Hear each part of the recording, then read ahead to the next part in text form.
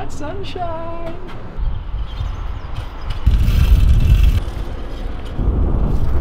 Check out this weather. It's another absolutely banging day again. Anyone watching these videos from abroad is definitely going to be like, when did London get so nice? Today is a particularly exciting day because I get to make a video with my mate Jackie.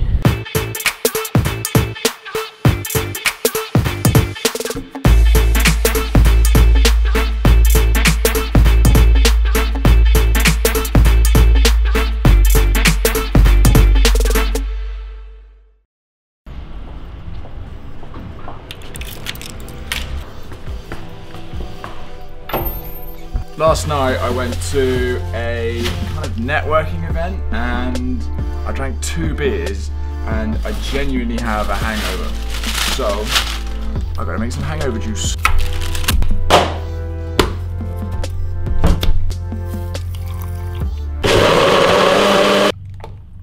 That is gonna sort me out.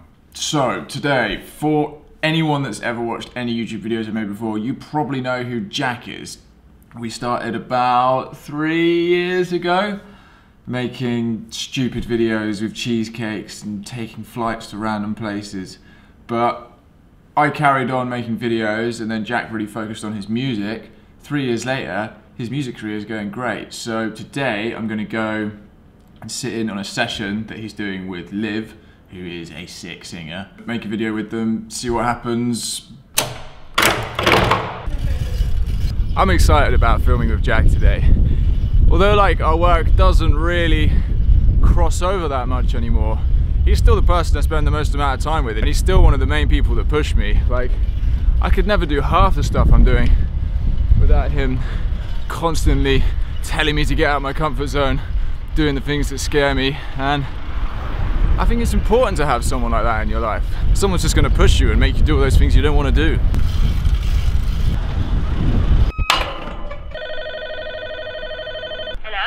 Hello? Hello.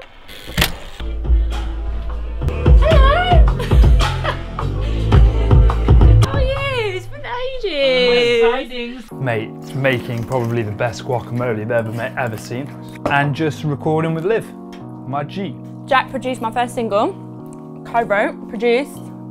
Inside. When did we write it? About a year ago? Probably in April, wasn't it? We wrote that pretty quick. May I reckon. Got to have patience, but that's coming out this year. Recording with her all the time. No, I haven't recorded with her for ages actually. She's been busy with like other producers cheating on me and shit, you know. Little bitch. I'm trying to get rid of him to be honest, but I'm joking. They make such nice lunches. We're working on something new today. This is pretty fun. We're just having a little lunch break because man's hungry, you know. And today we're just working on something new that we just wanted to work on something new for because we haven't worked on anything new for ages and it's just like it's the funnest thing to do. So I didn't always know that I wanted to make music. I didn't grow up in a creative family or anything. Went to uni, studied ancient history, random. It wasn't until I got to uni that I realised that I didn't want to do any of these graduate jobs or become a teacher or work in a museum or anything. And the one thing I was passionate about was music, like singing, writing. I always wrote poetry from like the age of 14. So connected the dots, began networking. Now I'm here in Jackie's front room eating halloumi. No, I didn't always know that I wanted to make music, but once I found out, I just went for it. I used to consider like music would have to be everything for me and it was like this is what's going to define me, this is like who I am, this is and I think over the last three months I've been going through like a massive transition in my life where um, I'm starting to realise is like there's so much more that you have to offer in, in, in life and music is like 80% of everything that I do and I'm trying to like not get so wrapped up in just being the best musician because I want to be the best musician that I can be but I also want to be like the best friend that I can be. I want to be the best human being that I can be. I want to be like there's so much more that you can give just like and I think that shift in learning that over the last few months has made me like relax a bit more with music and as a result of that like I've made loads better music because you take this weird internal pressure that you have inside yourself to be like I'm sitting down at the keyboard for the next hour and I have to make the best song possible. It's like man just make whatever comes out and if it's sick it's sick and if it's not I know go and read a book. It's like it sounds like I don't care about music. I care so much about it and things have progressed so much in the last six months. If they progress at the same rate, then in six months' time, I think I'll have a very different life. And then six months after that, I think I will. I think I will. But I want to be the best version of me as possible, not just the best musician. If you, if you know what I mean. I don't know. Sound like a massive hippie, Emil.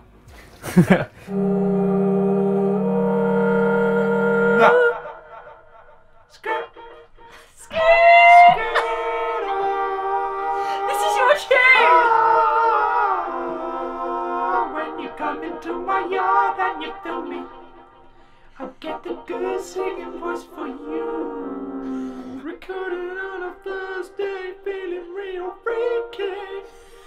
my G! And that's the end of Emil's singing career. Alright, three words of advice for anyone who wants to get into the music industry. Chat shit, get banged. Don't give up.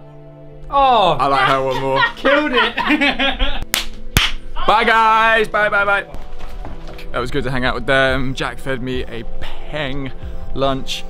Feeling real full, feeling real nourished, and it's cool to see them making some tunes. Like Jack's been making music ever since I've known him, which is a lot of years now. And yeah, this year it's all starting to kick off, which is awesome. Right now, I have a meeting with a production company in Brixton. Um, which starts in 10 minutes.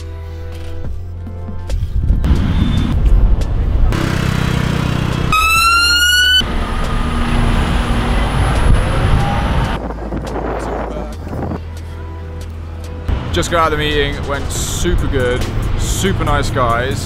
So they have a production company, but they started a sister production company called This World Can, all about trying to make a difference, social impact, um, type stuff, which is exactly what I want to do. So yeah, we've been talking about potentially working on some stuff in the future. This is crazy being right next to the buses. Kind of stinks. Um, I gotta get back to the studio in a hurry because I need to send some work off. Back in the studio, I've been editing for like the last four hours. My eyes feel like they're about to fall out. Today was good, good meeting, good weather. It's nice to be in the sunshine, and hanging out with Jack and Liiv was cool. It's so nice to see like seeing Jack from like the beginning and like moving up and up and up, and and the fact that I know them and I get the opportunity to go and hang out with them and film them is super cool as well. Young filmmakers have asked me a lot like how I find interesting people to shoot or interesting topics to cover. And people like Jack and Liiv want people to film them and it's not hard to get in touch with them. Everyone has one of these. Everyone has Twitter, Instagram. Like you can get in touch with anyone. My friend Ruben, you should definitely check out the doc I made with him. I'll link it below. I just hit him up on SoundCloud because I thought he was a sick guy, and he is a sick guy.